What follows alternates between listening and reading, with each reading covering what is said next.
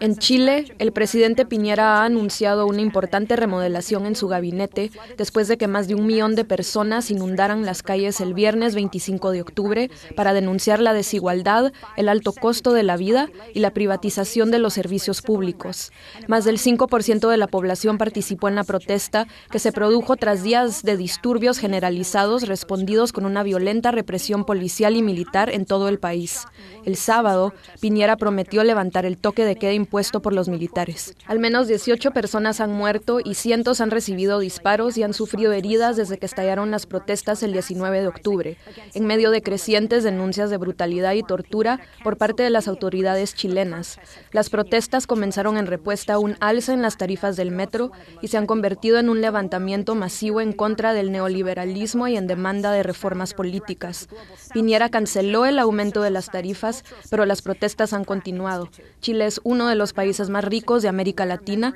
pero también uno de los más desiguales. Para hablar más de este asunto nos acompaña la profesora Macarena Gómez Barris, fundadora y directora del Global South Center y directora del Departamento de Ciencias Sociales y Estudios Culturales del Instituto Pratt. La madre de Macarena trabajó en el gobierno de Allende. Su familia llegó a Estados Unidos como exiliados políticos tras el golpe de Estado de 1973 que llevó a Pinochet al poder. Y desde Santiago de Chile se comunica con nosotros Alondra Carrillo Vidal, portavoz de la mayor organización feminista de Chile, la Coordinadora Feminista 8M, grupo que organizó la movilización feminista más grande de Chile desde el final de la dictadura de Pinochet. Bienvenidas a Democracy Now! Comencemos con Alondra en Santiago. ¿Puede explicar lo que está sucediendo en Chile, las protestas masivas del viernes y cuáles son sus exigencias? Creo que es complejo explicar del todo porque la gente está en la calle, eh, pero pienso que en gran medida se debe a un contexto de crisis, eh, tanto en Chile como en América Latina y a nivel mundial, es un contexto de crisis mundial capitalista, ¿no? que en Chile se ha expresado en la precarización creciente de la vida de amplias capas de la población. Tenemos, como bien saben ustedes, en Chile una organización neoliberal de la vida, eh, impuesta a sangre y a fuego por la dictadura de Pinochet y administrada por todos los gobiernos que vinieron después, por los gobiernos de la concertación y de la derecha. Eh, y esta, forma de organización ha producido un deterioro creciente de las condiciones de vida de la mayoría de la población y ha agudizado formas de violencia patriarcal, machista, racista y colonial que atraviesan cada ámbito de la vida y contra los cuales cada vez más sectores se han ido organizando y movilizando. Pienso que la razón por la cual hoy día está la gente en la calle y no deja de salir a la calle y sale de manera cada vez más eh, entusiasta y creciente es porque de pronto descubrimos que era posible poner a este sistema contra la pared y forzar a la construcción o a la creación de una alternativa a esta forma de vivir. Y pienso que nadie está dispuesto a soltar esa posibilidad. Can you talk about the trigger, the increase of the subway fare that now President ¿Puede hablar sobre el aumento en las tarifas del metro que desencadenó las masivas protestas y que ahora el presidente Piñera se ha visto obligado a cancelar? Y explique qué implica la declaración de estado de emergencia y cuál es la importancia de que una comisión de la ONU encabezada por la expresidenta chilena Michelle Bachelet uh, Chile vaya a visitar Chile para investigar las acusaciones de abusos contra los derechos humanos durante las protestas que han dejado un saldo de al menos 18 muertos y cientos de heridos.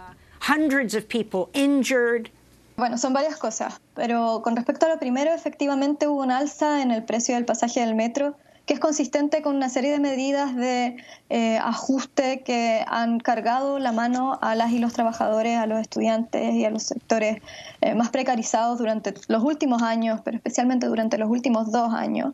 Em, y lo que ocurrió ahí fue que ante, este, ante esta medida eh, del alza en el, en el precio del transporte, hubo una suerte de pequeña rebelión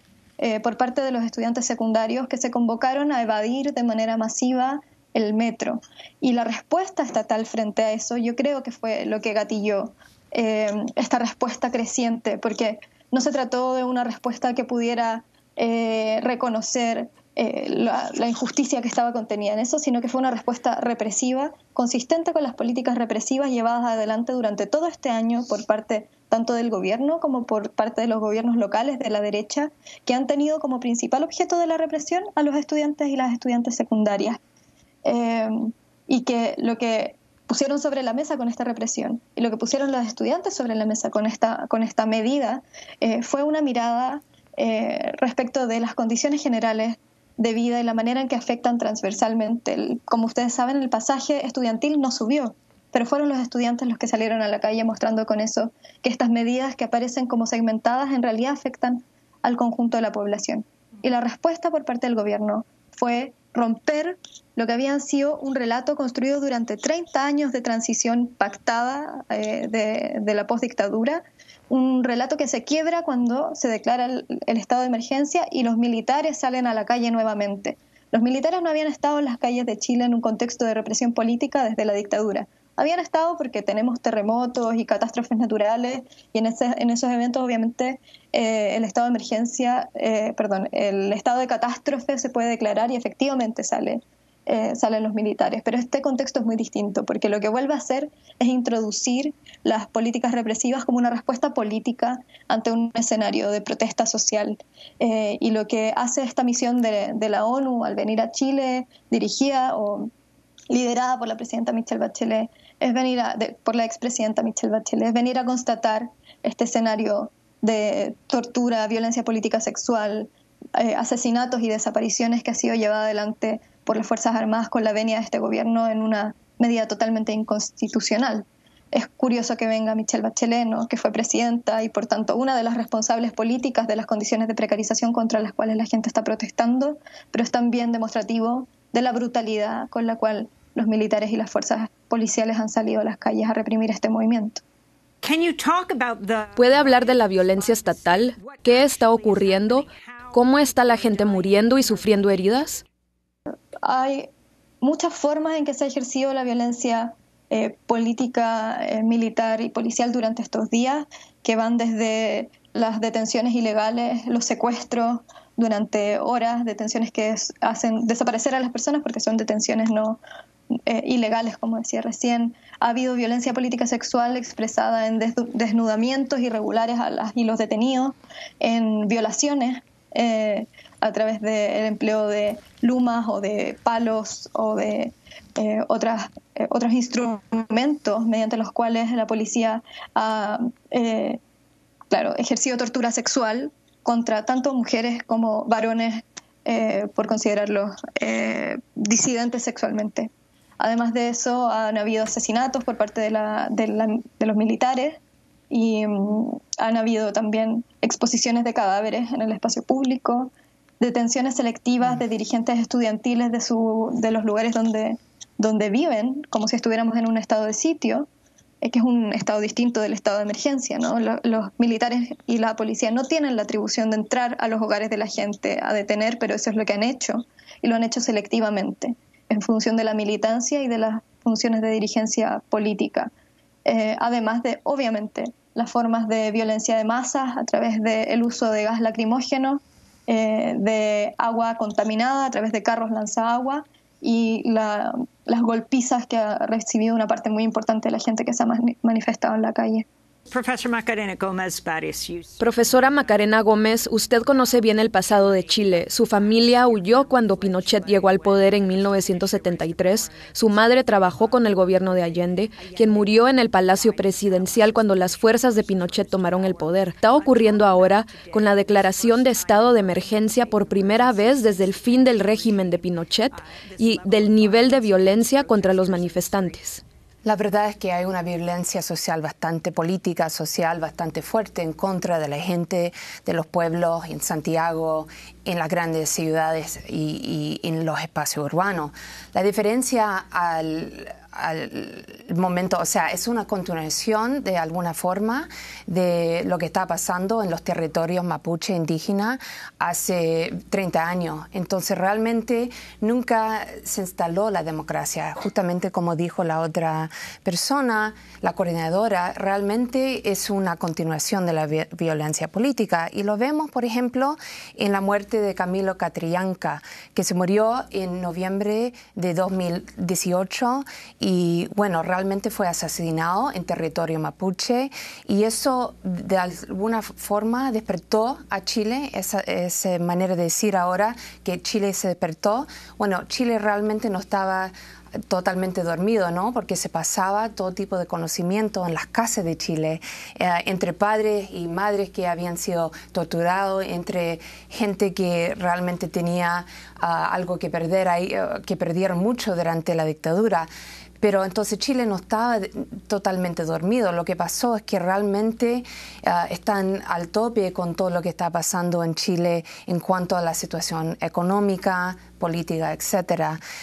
pero se despertó en este momento realmente con la condición indígena. Entonces realmente se entendió a través del caso de Camilo Catrillanca que el pueblo mapuche estaba sufriendo y era un sufrimiento a manos de los militares y ese mismo aparato se transfirió ahora a las ciudades y se nota que hay un estado de eh, seguridad nacional bastante fuerte en ese espacio. Um, pero el laboratorio para todo esto fue territorio mapuche o almapu en estos 30 años.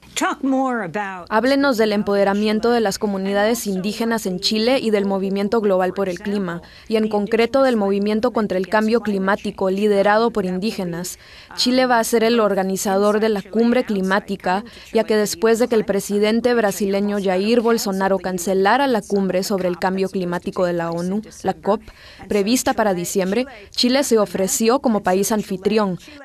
Pero estamos viendo estas protestas masivas y no está claro qué sucederá. Es fuerte lo que está pasando en cuanto al cambio climático. De alguna forma,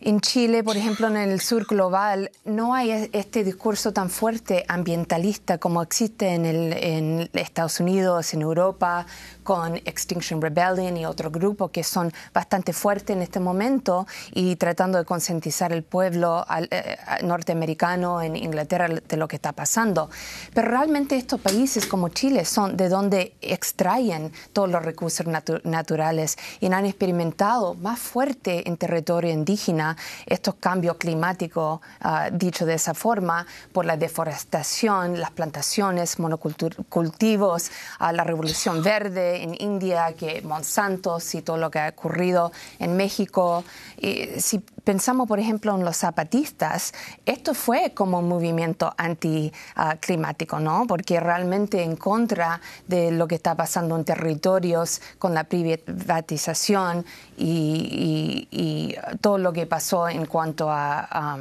a, la militarización de esos espacios. Lo mismo está pasando en Chile y va a ser muy interesante ver qué tipo de, transferabilidad se puede,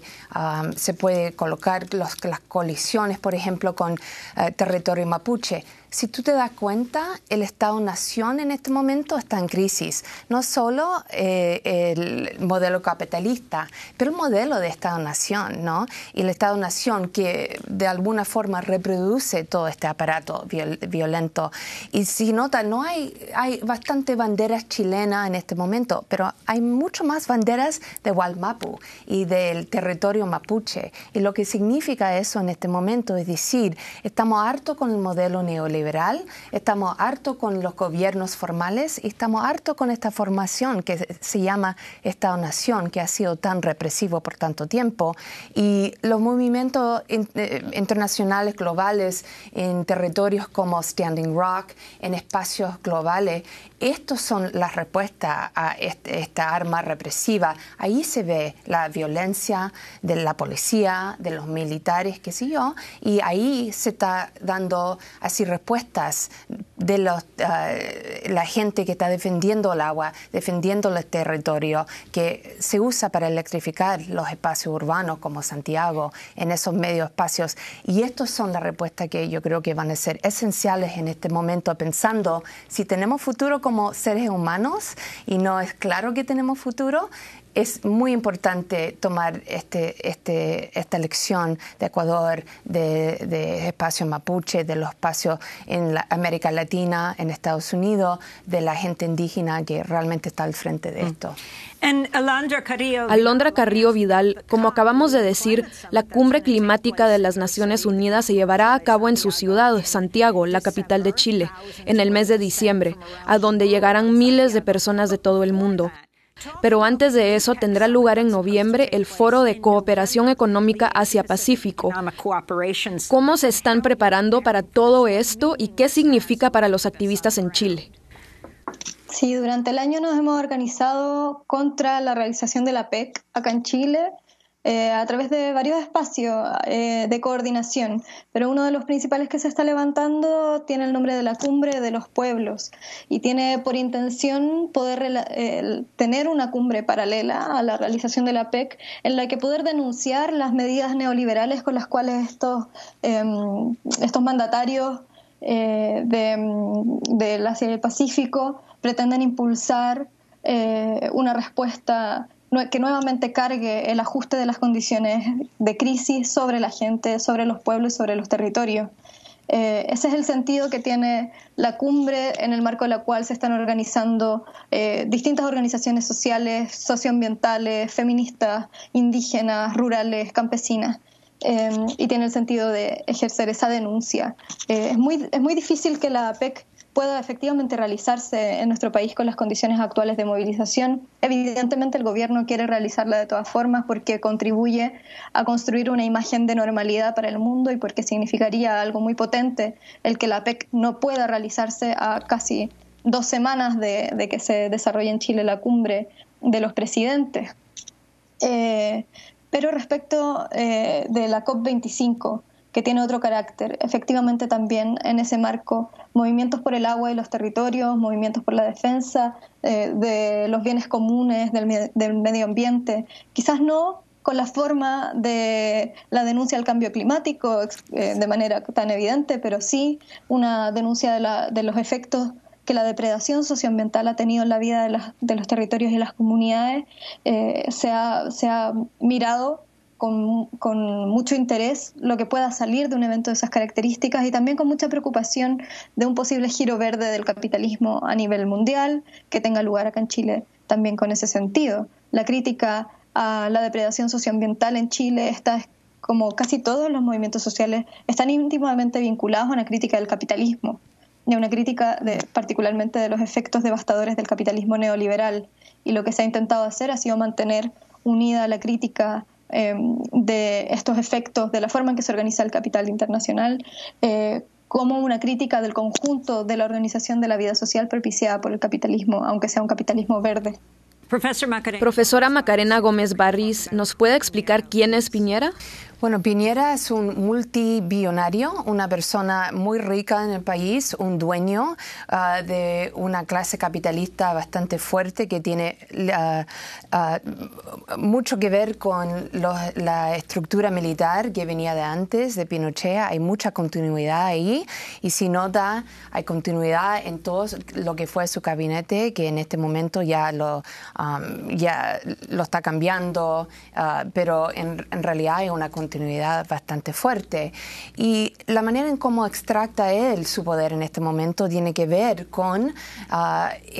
lo que está pasando en el mundo, un giro hacia fascismo en un sentido de la derecha levantándose otra vez ah, globalmente y justificando este, esta fase de capitalismo racial extractiva y realmente a donde hay una iniquidad bastante fuerte global, globalmente y también en Chile. Entonces,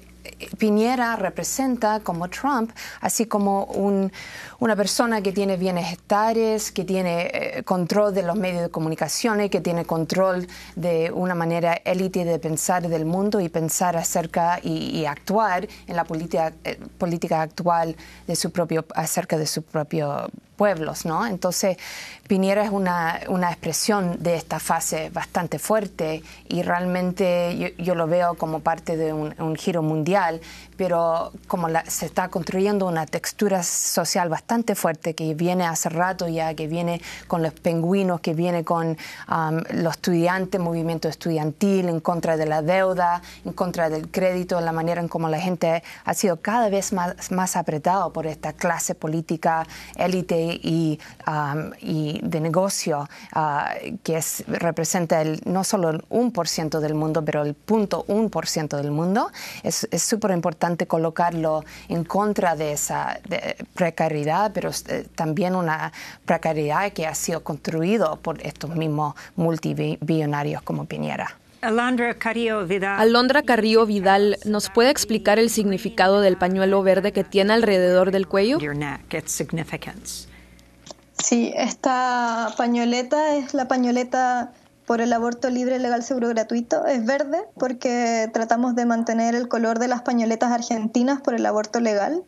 Eh, como saben, la Marea Verde en Argentina impulsó el, proyecto de aborto legal eh, allá. Tiene este símbolo, este símbolo que está atrás de la mujer con, con, la,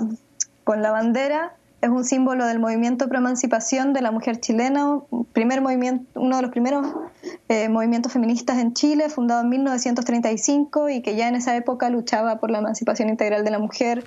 eh, y por el aborto legal. Y este símbolo de adelante eh, representa las movilizaciones feministas del año pasado, del baño feminista, y lo que dice es que no nos bastan tres causales, que son las tres razones por las cuales está permitido abortar en Chile, violación, inviabilidad fetal y riesgo de vida de la madre, sino que las mujeres abortamos por mil razones.